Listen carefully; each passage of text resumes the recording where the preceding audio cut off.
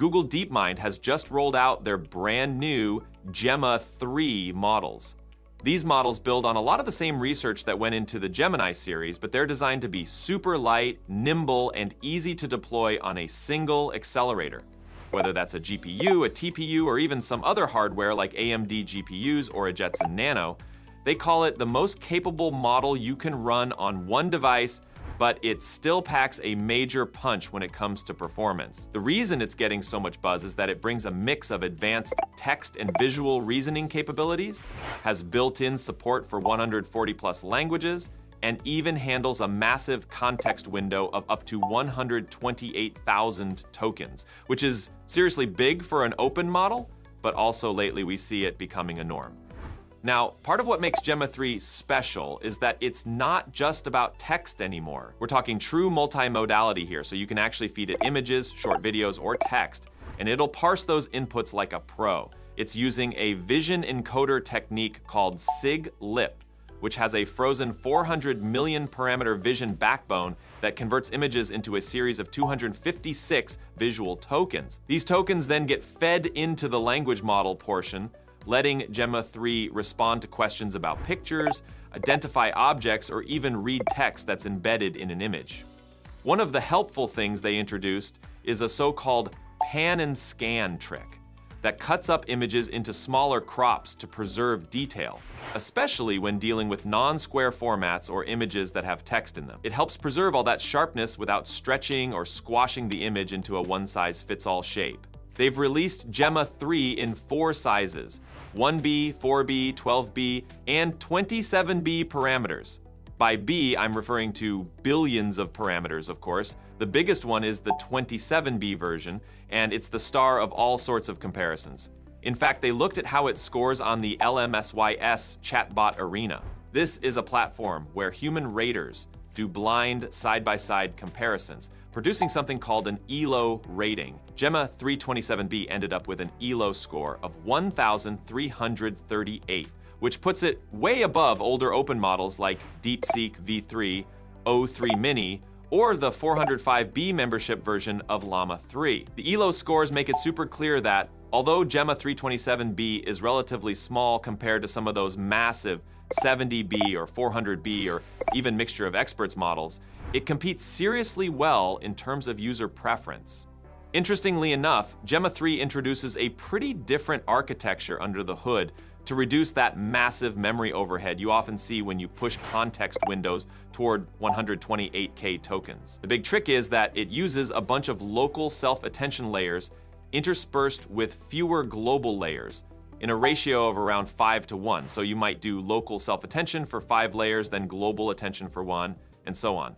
That drastically reduces the memory footprint because not all layers have to attend to the entire 128K tokens. For local layers, they're basically working with a sliding window of 1024 tokens rather than 128K.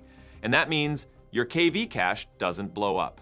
The result is that you can have ultra long context without requiring an insane system with dozens of GPUs just to hold the memory. They've shown that by using 5 to 1 local to global layers with that 1024 sliding window, you cut memory overhead to around 15% instead of something like 60% if every layer had to be global. Another new thing is that they're shipping Gemma 3 with official quantized versions. Quantization means taking all those 16-bit floating point weights and compressing them down, maybe into int4 or some special float 8 representation so the models fit into much smaller memory footprints.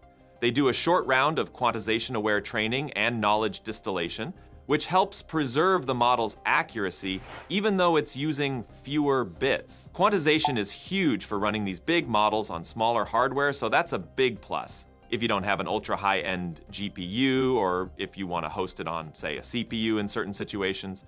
Now, Gemma 3 still uses the same sentence piece-based tokenizer as Gemini 2.0 with 262K vocabulary entries to cover 140 languages. They rely on knowledge distillation from bigger teacher models, though smaller teachers can work for short training runs. The model also supports function calling and structured outputs, so it can natively generate JSON or run function signatures without hacky prompts. They carefully filtered training data, applied RLHF, and tested the models for memorization risks or personal data leakage, finding low violation rates and minimal advanced harmful capabilities. Despite these safeguards, developers must still handle safety responsibly when deploying open models like Gemma 3. On the hardware side, the official line is that Gemma 3 has been optimized for NVIDIA GPUs, Google Cloud TPUs, AMD GPUs via ROCm, and for CPU execution with something called Gemma.cpp. If you're on an NVIDIA system, you'll appreciate that they've got direct optimizations from the Jetson Nano to the top tier Blackwell chips. It's even featured in the NVIDIA API catalog so you can do rapid prototyping from there. Meanwhile, if you prefer running everything in the Google Cloud, you could spin it up on Vertex AI, on Cloud Run, or through the Google Gen AI API.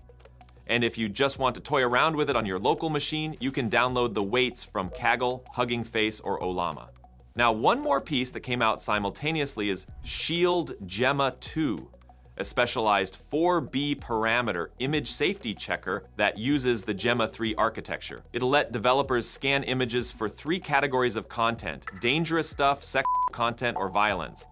So it's basically an out-of-the-box solution to keep your pipeline free of images you don't want in your dataset or user feed. You can further customize that if your personal or regional guidelines differ, which is a big plus for developers who want to tailor it to their own safety standards. And since it's built on the Gemma 3 foundation, it should run efficiently on the same hardware or frameworks that you're already using. The other big push is an academic program around Gemma 3. Google DeepMind is offering $10,000 worth of Google Cloud credits to academic researchers who want to do serious research with these new models. That application's open for a few weeks, so if you're in academia and want to harness a 27 B parameter model for something new, that might be an awesome opportunity.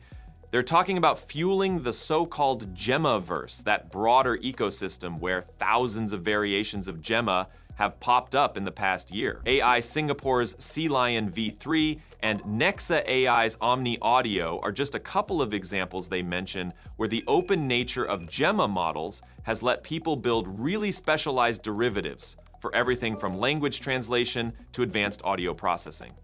The technical report that came out sheds a lot of light on how they tested Gemma 3. They mentioned standard benchmarks like MMLU, Live Code Bench, BirdSQL, math, and a variety of multilingual tasks, the 27B instruction-tuned version of Gemma 3 is in the same performance league as the best open models. One chart in the technical report shows it's even on par with or above older Gemini 1.5 in certain tasks.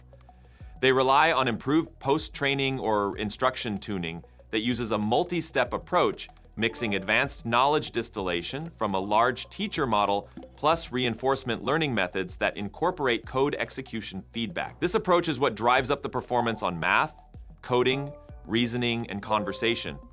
They also tested more intensively around vision tasks, such as Doc VQA, Info VQA, and Text VQA, demonstrating big improvements when you properly handle images at a higher resolution with that pan and scan method.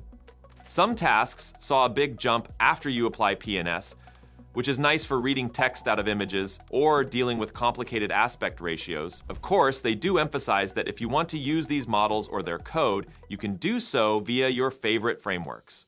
If you like Hugging Face, you'll find Gemma 3 there. If you prefer JAX, Keras, PyTorch, or VLLM, you've got that option. They're also shipping new recipes and code bases for training and inference, so if you want to do your own fine tuning, you can. That includes a function calling workflow, structured outputs, and the ability to handle 128K tokens of context.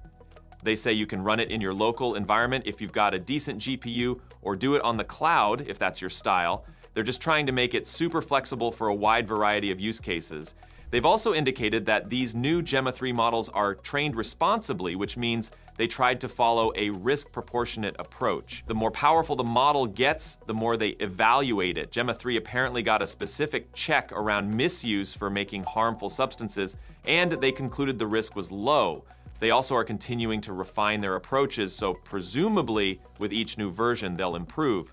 Since the last iteration of Gemma launched, there hasn't been any big example of malicious usage, so they think that risk remains quite small. All right, that's a wrap on Gemma 3. I'd love to hear your thoughts in the comments. If you enjoyed the video, don't forget to leave a like, and if you're not already subscribed, now's a great time to join in. Thanks for watching, and I'll see you in the next one.